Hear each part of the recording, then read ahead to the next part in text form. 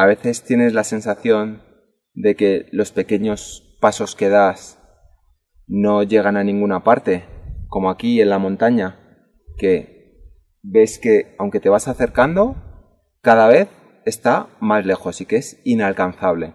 Vienes desde ahí abajo y aunque has recorrido mucho, es infinito, como la cinta de Moebius, a lo mejor, o la escalera de Etcher.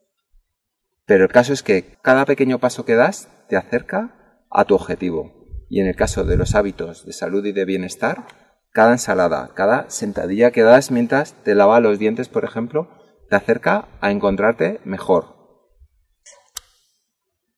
Porque no desesperes. Cada pequeño paso que das te acerca a tu objetivo.